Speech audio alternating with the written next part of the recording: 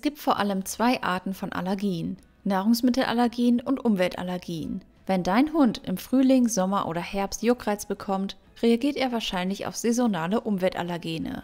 Wenn die Symptome jedoch über einen längeren Zeitraum anhalten, ist es wahrscheinlicher, dass er auf etwas Konstanteres in seiner Umgebung oder auf etwas in seiner Ernährung reagiert. In diesem Video nehmen wir dir vier Auslöser, die du unbedingt kennen solltest. Experten sagen, dass zu den häufigsten Auslösern Unkrautpollen wie Ambrosia gehören, eine hartnäckige Pflanze, die leicht auf Feldern, an Straßenrändern und auf unbebauten Grundstücken wächst. Jede Pflanze hat bis zu einer Milliarde leichter Pollenkörner und diese können extrem weit fliegen. Doch das ist nicht das Einzige, was dein Hund zum Niesen bringen kann. Jetzt folgen die vier Allergien, die am häufigsten auftreten. Nummer 1. Flöhe. Ein Flohbiss kann einen allergisch reagierenden Hund zwei Wochen lang unter Juckreiz leiden lassen. Dies ist die häufigste Allergie, die meist am Rutenansatz beginnt. Nummer 2. Nahrung.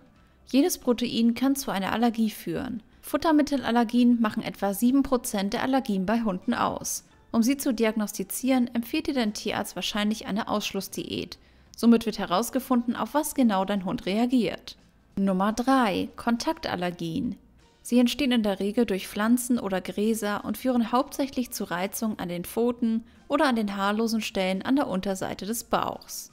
Und Nummer 4. Umweltallergie bzw. Atopie. Sie ist in der Regel saisonal und wird durch eine Vielzahl von Allergenen in der Luft verursacht. Atopie kann mit Heuschnupfen beim Menschen verglichen werden, aber bei Hunden verursacht sie juckende Haut.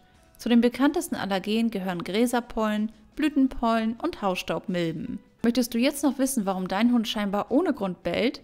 Dann schau dir unbedingt das Video an, was ich dir an dieser Stelle verlinke. Vergiss auch nicht, den Kanal kostenlos zu abonnieren, damit du kein neues Video verpasst.